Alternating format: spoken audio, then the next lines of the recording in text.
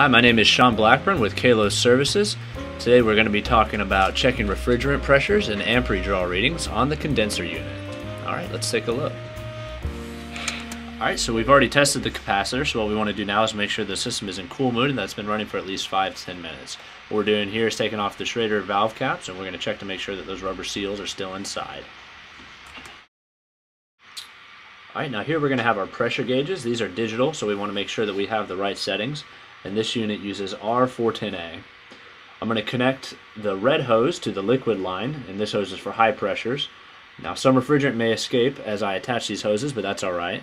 And next I'm going to attach the yellow hose to the suction line. Now normally um, your suction line hose um, used for low pressure is blue, but we have a different, uh, a different color hooked up here. So.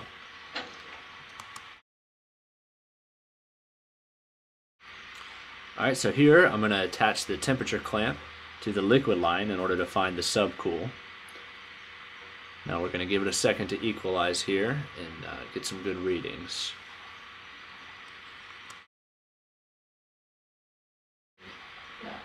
Alright, so we're going to get some readings off of our digital gauge here. And now on the right side, we have our pressure, which is in PSIG. And we've got the subcool below that. And uh, we're going to hook this up here. And on the left side, there's the low pressure suction reading and the superheat below that. Um, in this case though, there's an indoor TXV controlling the superheat, so we will use a subcool to find it. Um, now this charge is uh, within the correct specifications, so that's good and it checks out all fine. Alright, now this is my digital multimeter and we're going to check the amperage draws um, of the condenser fan and the compressor. Uh, but first I'm going to check my voltage. Now this system runs on 240 volts. So if we take a look here, um, looks good. All right. Now we're going to find the black wire, and it's the common wire um, from the condenser fan in order to get its reading. So we grab that there.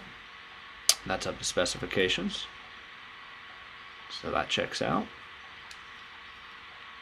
Now we're going to find and look for a thicker gauge black wire coming from the top of the contactor. Um, it's called the common wire for the compressor. We're going to get its reading. What we see there. Got a good reading there as well. Alright, so that looks good. Alright, so that's pretty much it. That's how we read pressures and ampere readings at the condenser. We thank you for watching, and if you have any questions, visit us at our website there, kalosflorida.com, or call us at 352-243-7088. Thanks, and have a great day.